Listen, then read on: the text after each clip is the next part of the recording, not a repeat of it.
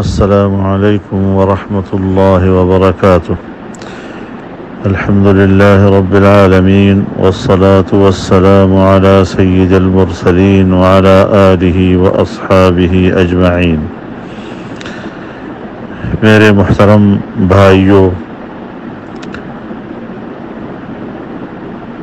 جو کچھ حرم نبوی میں منظر عام پہ آیا ہے اور جس طرح پی ٹی آئی کے لوگوں نے حرم نبوی کی توہین کی ہے، جس طرح وہاں وہ چیخے ہیں اور جس طرح انہوں نے پاکستان کے وفد کی، کہ توہین کرتے ہوئے اس کی پاداش میں یہ بھی نہیں دیکھا کہ حرم کے تقدس کا تقاضا کیا ہے، کس طرح انہوں نے چیخ چیخ کر جناب رسول اللہ صلی اللہ علیہ وسلم کے حرم پاک کی توہین کی ہے۔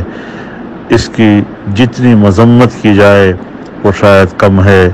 اللہ کا واضح فرمان ہے کہ رسول اللہ صلی اللہ علیہ وسلم کی آواز پر بھی آواز اونچی نہ کرو اور انہیں بالکل اس طرح نہ بلایا کرو جس طرح تم ایک دوسرے کو پکارتے ہو۔ ورنہ تمہارے اعمال حبت ہو جائیں گے اور تمہیں پتہ بھی نہیں چلے گا۔ مجھے خطرہ ہے کہ یہ لوگ اس آیت کا مستاق نہ بن جائیں۔ ان کے اعمال کو اللہ اس جرم کی پاداش میں ضائع نہ کر دیں۔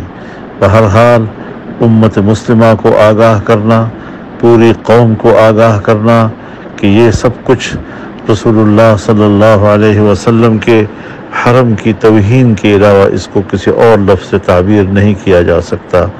اس لیے تمام علماء کرام پورے ملک میں اور عالم اسلام کو بھی میں کہتا ہوں کہ وہ بھی کل جمعہ کا دن ہے، جمعۃ الوداع ہے اور اس جمعۃ الوداع کے موقع پر اپنے خطبوں میں اس واقعے کی مذمت کریں۔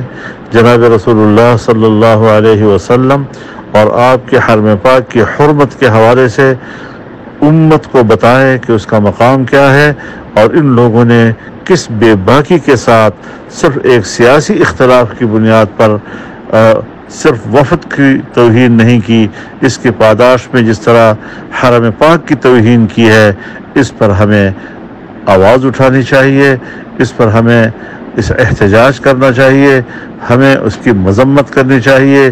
یہ ہمارا دینی فریضہ ہے اور جناب رسول اللہ صلی اللہ علیہ وسلم سے محبت کی علامت ہوگی۔ آپ حضرات سے میں اپیل کرتا ہوں تمام ائمہ سے خطبہ سے کہ اس کو نظر انداز نہیں نہ کریں اور ہر قیمت پر اس کے خلاف آواز بلند کریں اور رسول اللہ صلی اللہ علیہ وسلم کی شفاعت کے مستحق بن جائیں۔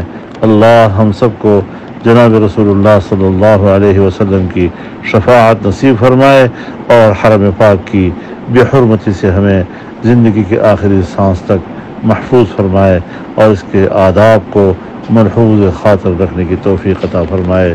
السلام علیکم ورحمۃ اللہ وبرکاتہ۔